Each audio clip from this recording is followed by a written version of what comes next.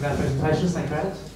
Um, we're going to have a couple of um, what we call lightning talks, which are really, really short, five minutes um, from the vendors outside, so they can actually tell you what they've got.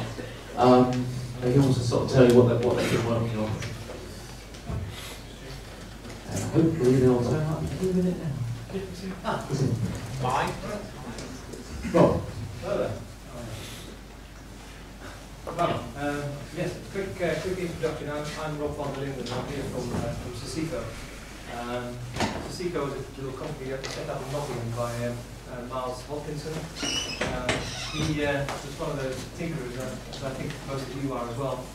And uh, five years ago or so, he tried to set up uh, a system that you can control various things around his house. He had a diesel generator sitting outside. He bought himself a bunch of um, solar, solar panels, and a lot of controlling central heating and various other things.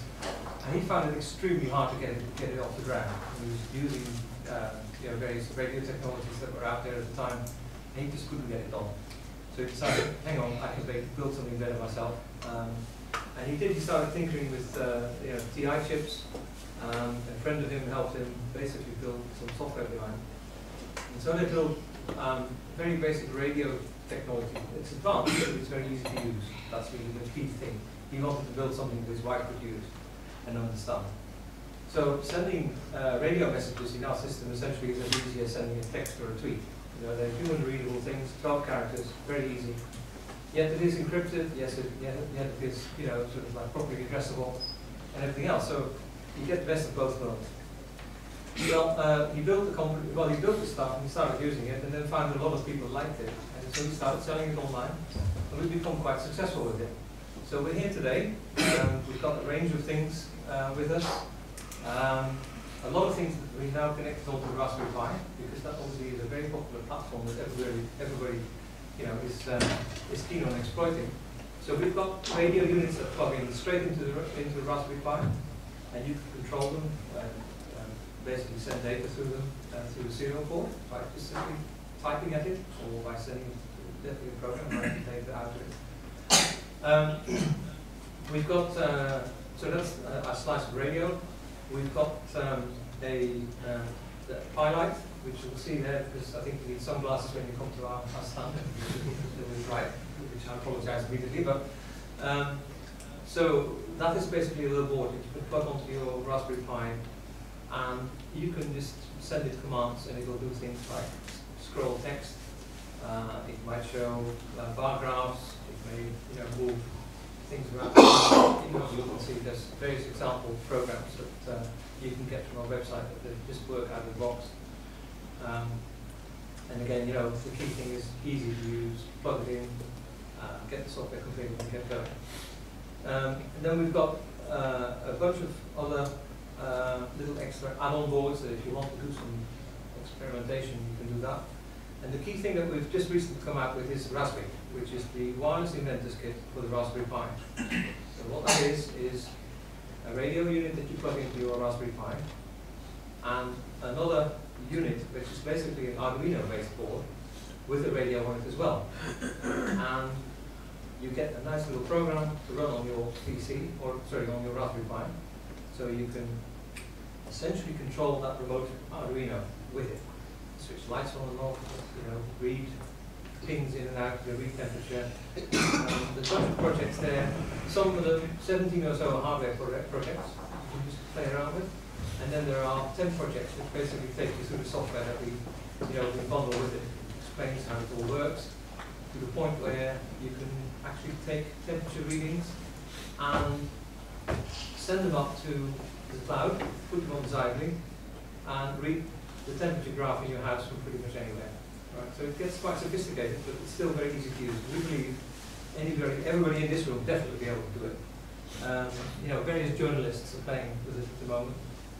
Um, I don't know if anybody reads Custom PC. Uh, Gareth Halfacree basically wrote in there that he thought this was the simplest introduction to wireless uh, uh, technology that he could, he could come across. So, you know, if he can do it, sorry. but if, you know, if, if, if, journalists can do it, you can do it, I'm sure. We, we think that um, it's particularly uh, useful for school children to get into this whole thing as well. So as the Raspberry Pi goes into schools, hopefully these kids will go there as well. So uh, yeah, I'll stop talking. If there's any questions, you can ask them now, or you can you can come to the stand and look. Okay, thank you very much. Hello.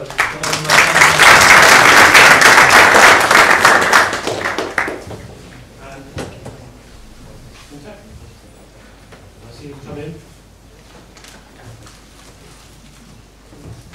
Oh, there he is, at the top there, sorry.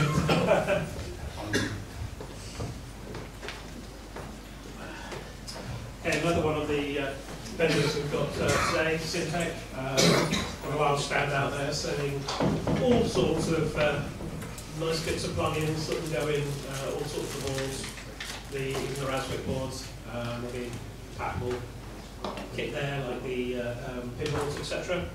And um, this is Dave. Thank you. Over to you. Just speak straight into the mic. Good afternoon, Dave Meller from Cyntech. Uh, just a little bit about us and uh, our association with the Raspberry Pi. Cyntech's a friend of Pi, as you may have seen on the Foundation's website. And we started off life about six or seven years ago, selling electromechanical components from all over the world, from some uh, world-class suppliers. Uh, everything from connectors, cable assemblies, plastic boxes, power supplies. And believe me, it's uh, not the most exciting world uh, to work with it.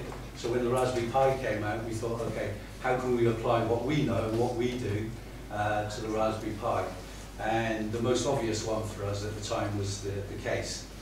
Now, uh, a lot of people say that our case, which hopefully you've all seen and all bought, is the best case for the Raspberry Pi. A few reasons why one of the first people to bring the LED light via the light pipe up to the surface, a GPIO exit, SD card cover if you if you need that type of thing because somebody's always nicking your SD card to go in the, into your camera, um, and generally the fit and the lack of rattle um, was one of those things that people thought, okay, the case is very very good, and hopefully agree. We came out originally with a Raspberry Pi colour one, you know, the pink.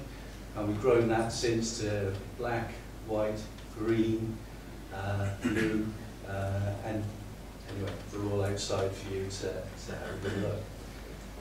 The Raspberry Pi world was quite exciting compared to our electromechanical world, so we thought, well, let's, let's keep going with this, this is quite interesting. And we started reselling our stuff online. Uh, so to CPC Farnell, um, guys in the States like Canakit and MCM Electronics, and we also sold stuff to people like Adafruit as well. One of the next products that we brought out was this nice little GPIO breakout board, which Alex kindly uh, interrogated on his on his site. And we got a few sales from that, so thank you for that, Alex.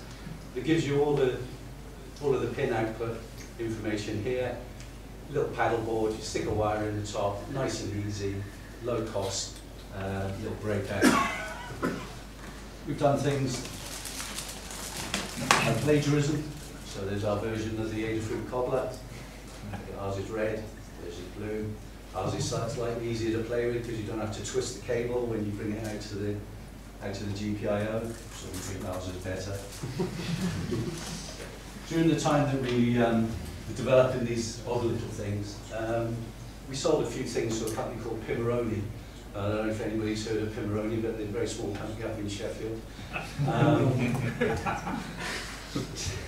so we had a chat with Pimoroni and sold them some more stuff, and we said, oh, we've got this really good idea for a hub for the, uh, for the Raspberry Pi. And, uh, we were lucky enough at, at the time to have Eben Upton in our offices, and we bounced the idea off of him, and we thought, well, that's a good idea, we should go and do that.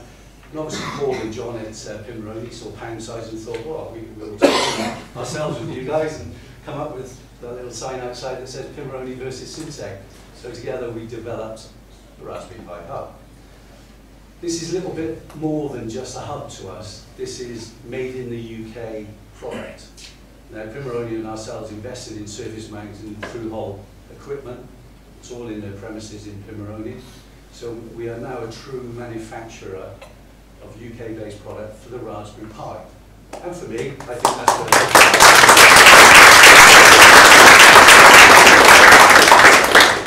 is. So, not the cheapest hub in the world. But Always remember, it's supporting UK jobs, it's supporting the foundation, because 10% goes back to the foundation, but it gives you a hell of a lot more than other hubs there. It's the only hub ever tested by the foundation and endorsed by the foundation. And trust me, we went through more than one iteration with those guys. Half an amp coming out of each port, and you've got a special port down at 7 o'clock, which gives you 1.1 amp uh, for your pipe. It's got a little designation on the back which shows a little pi on the back. All four ports will support a pipe, and Alex again proved that on his blog, where he had four pies coming out of the hub.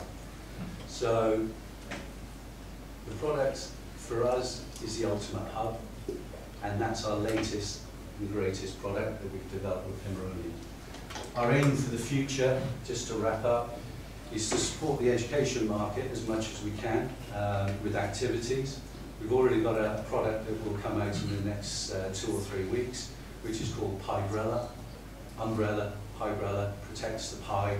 Uh, does a lot of inputs, does a lot of outputs, uh, gives you various voltages that you can uh, drive motors with. So the ultimate thing is therefore just to build it as an activity-based uh, uh, product, right from LEDs, you know, traffic lights, right up to walking robots and, uh, and all sorts of different things like that. So keep your eye out for that. And uh, if you need, need to have a chat later, or you'd like to part with some cash, we're just outside. Thank you very much.